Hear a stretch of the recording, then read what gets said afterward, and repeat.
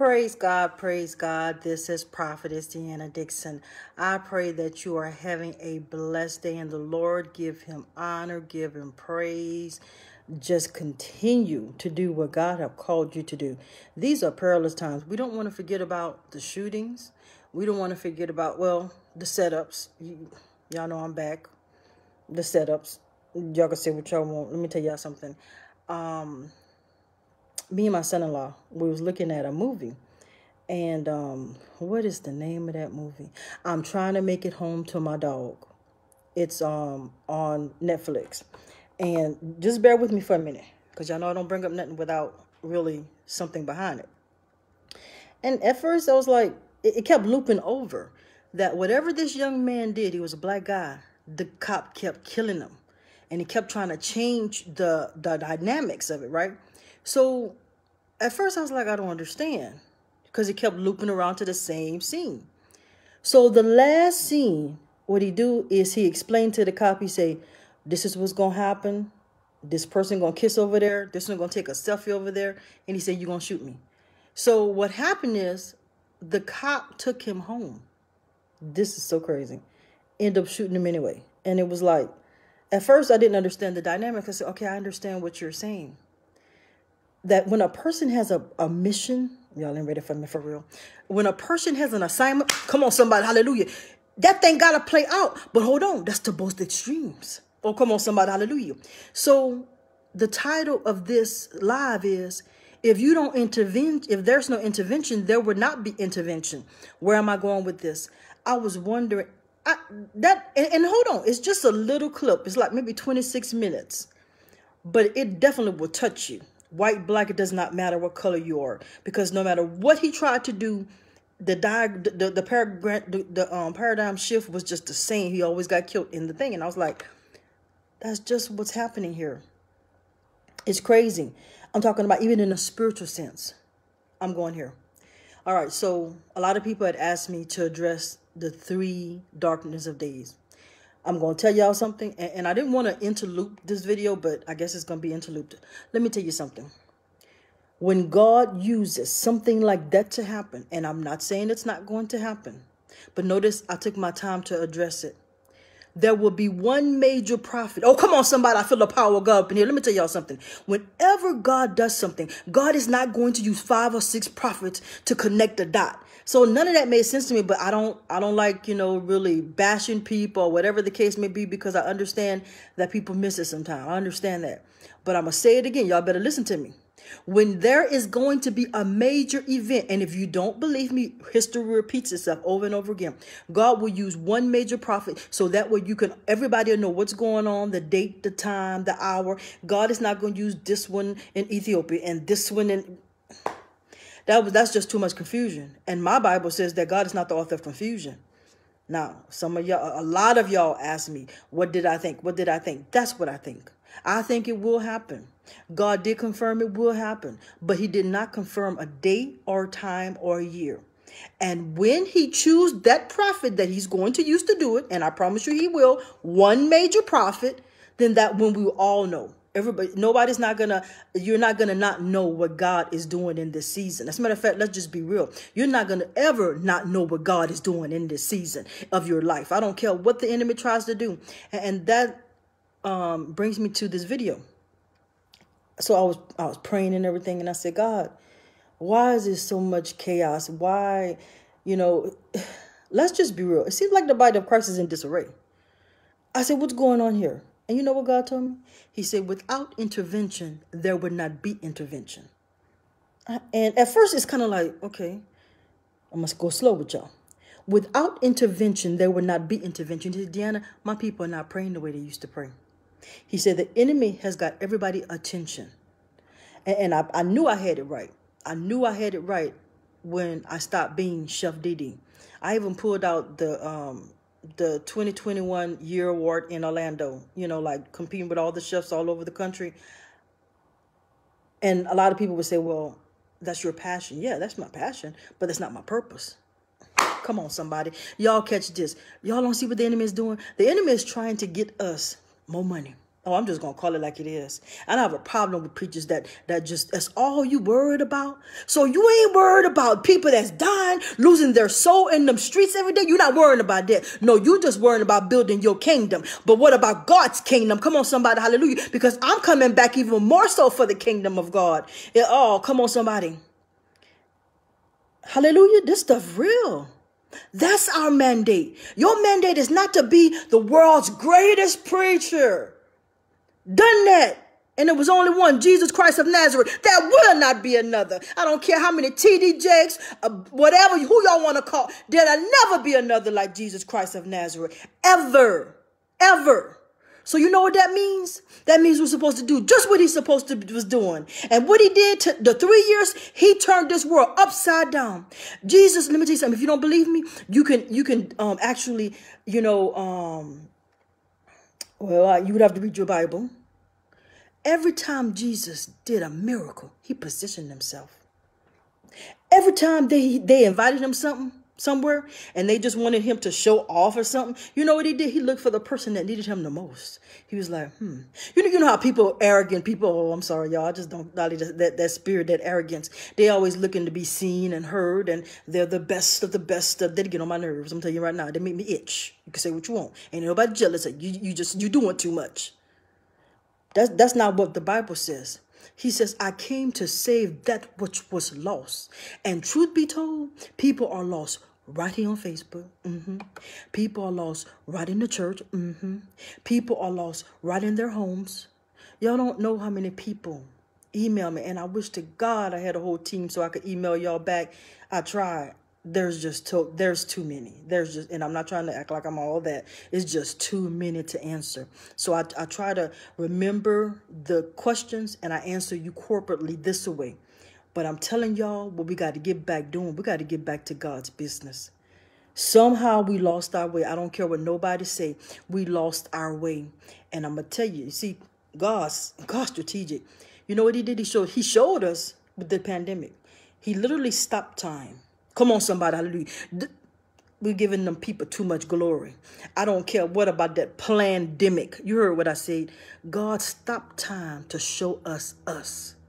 To show us, you say you love me? Let me let me allow them to do what they do and show you you. The church, i.e. People so many closing their church doors. Oh, I'm about to say something. I didn't know I was gonna say it, but I'm about to say it. I don't know this brother's name, and I don't even know how he came in my timeline, but he says something. And he was actually talking about a specific preacher, but I'm not even going to bring that preacher name because that's going to start a whole other thing. But I'm going to tell you what he said. He said something that was very, very powerful. And he, he's unknown, but he, it was powerful. He said, You know, preachers, it's okay to take a rest. He said, You don't have to be, he said, because what I'm seeing is everybody's competing. Am I lying? everybody want to be the best preacher, the best teacher, the deepest, the holiest. The, uh, get the heck up out of here. Can we just learn to be saved? Can we just learn to preach and teach just the word of God? Because let me tell y'all something. First of all, I want to ask y'all forgiveness. So much has been going on. I promise you, when I push these last books out, that's it. I'm not writing no more books. I'm not, y'all can say, try me. I'm not writing no more books because I realized something. And I'm not saying books are not good. I'm not saying wisdom is not good. But I'm telling y'all, I'm starting to see this thing. I'm telling you. I know this is going to sound weird, but within my dad dying, it's like I'm living even more so for God. I, I don't understand that whole thing yet because we're human, right? But we're doing too much. I keep hearing God say, go back to basics. Just keep it simple. Just love me. We didn't made it to where people don't want to come to church, not even online. I'm going to be real with you because now it's all about a dollar and it shouldn't be. It shouldn't be. You know, my God, my God, my God. I hope y'all understand I'm not just up here babbling. My God. When I was, I'm going to say down, it's like I got closer to God. And what really happened is I wasn't in control no more. Come on, somebody. I wasn't in control no more. Not that I ever was. You see, because the enemy will make you think that you're in control. I mean, these things happen. What could, what, what could I do? But cry. But say, God, strengthen me. God, keep me. God, I'm hurting. God, I don't understand. Back to back to back. Okay, I get it. Trust me, Deanna. Trust me when you can't trace me. Trust me when, when you can't feel me. Trust me when they're not applauding. Tr- trust me when they're not talking. Trust me when they're not reaching out. Oh, I just said it. Y'all, and I don't I'm not saying everybody. Y'all putting so much pressures on preachers these days that they feel like they gotta perform. I have never been one that felt the need to perform for anybody. Because I can't do that. Because then that's not real people of God, if you if you really follow me as I follow Christ, please get closer to God. Stop tripping. I'm not saying God don't want you happy. I'm not saying God don't want you successful. But what I am saying, God wants you saved most than anything. The way my life just got upside down, honestly, honestly, if I could be real, which I am going to, it almost felt like I was next. I said, God, okay. I said, well, okay, your will. He said, no, you got some work to do. You got some work to do. But I just allowed because what I was doing is I was getting you closer to me. Through everything, I was getting you closer to me. I was letting you know that you're not exempt. Come on, somebody, hallelujah. Because I think preachers and teachers, they'll try to preach that we're exempt from problems, exempt from worries, exempt from life. The devil is a liar, hallelujah. That's when you know you need God the most. God, I need you. I can't do this without you. How could I ever thought I could? I think I could. Hallelujah. Come on, somebody, hallelujah. This stuff is real. So if there's no intervention, that means we're not intervening. Go back to your night watches.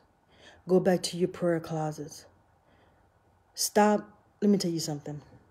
this world is slick. This world is real slick. Oh, I, I see how they do things. Anything to pull you from God. Anything to pull you from what you're supposed to be doing. Uh, I call it OPP, other people purposes other people problems, other people perceptions, and God didn't tell you that. And, and sometimes you get caught up because I'm gonna be honest with you. You know, some of the family after they were trying to catch me up in, in some of this, and I was like, whoa, whoa, whoa, whoa, whoa, whoa, whoa, whoa, we cool, but that's not my purpose. That might be your purpose, but that's not my purpose. So you have to be very careful in this hour. God, keep me, keep me with my purpose. Because remember, I keep, I've been telling y'all for months. I feel like my pain and my purpose collided. And they did. They did. They did. And all it did was make me more humble. Yes, it did. Make me more humble. Hallelujah. Because God is still good. But I'm going to get up out of here. But basically, what I'm saying is, I challenge every last one of you even the ones that are going to listen to this. I dare you to get closer to God like you ain't. Ain't got nothing to do with me, really. You don't know when that day coming. And I just want to know, do you know that you really going to heaven? And this ain't no game, because everybody think this a game. This ain't no game. God is calling his people home. And I told y'all this about two, three years ago. God is, listen to me. A lot of people are not going to be able to take what's getting ready to come. So God is calling his people home in droves. And I'm not kidding. All you got to do is, not just with me, open your eyes. Open your eyes. So your position should be God every day. God, am I doing what you told me to do? Not what I think to do, not what the world is telling me, not what I see everybody else doing. Because you, you, you, you got a lot of people that just watch other people and they do stuff. Don't be that person. Be intentional of where God has you and what He wants in your life. Hallelujah. Don't be worrying about everybody.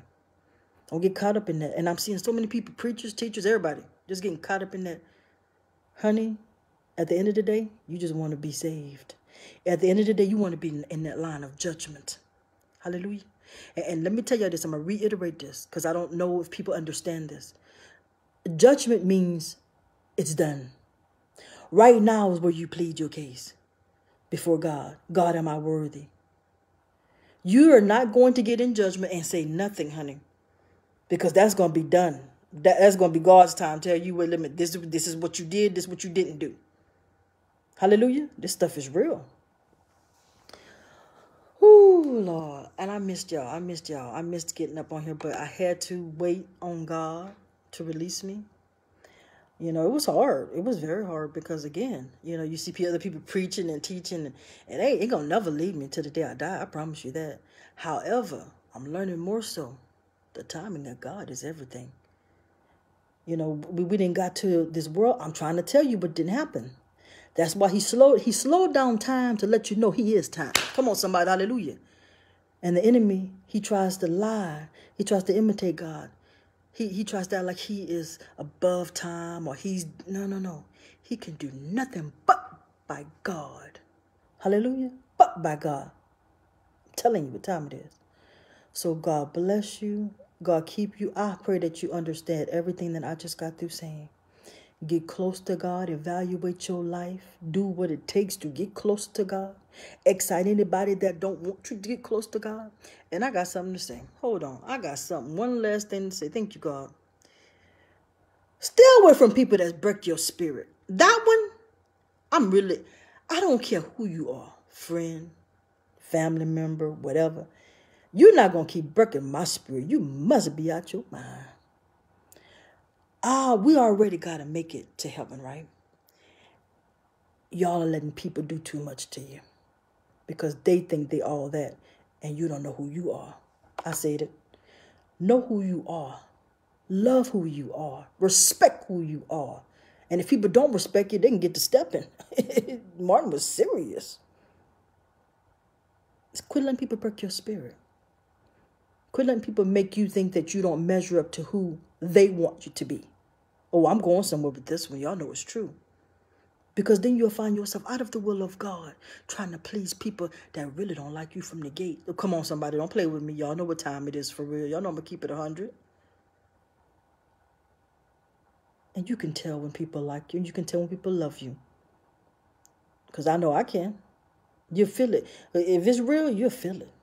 And if it's not real, just ease on, take your little finger, act like you're in church, and just ease on out their life.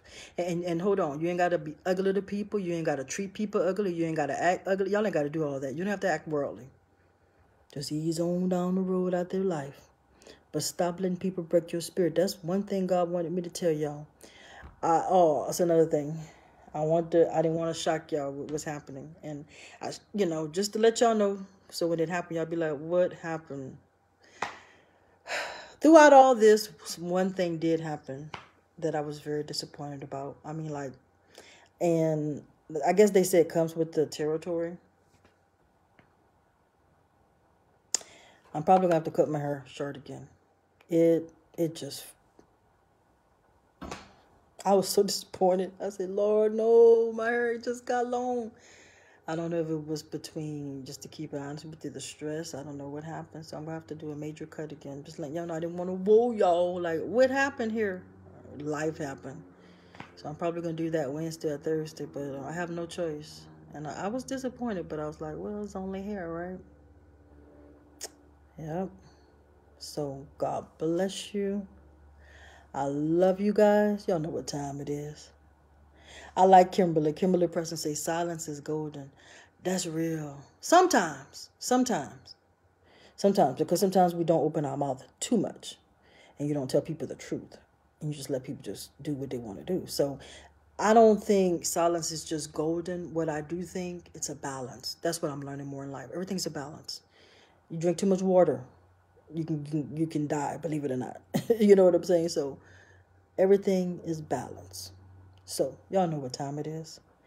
Rule our soldiers, for that is truly who we are. Let's walk like it. Let's talk like it. Let's act like it.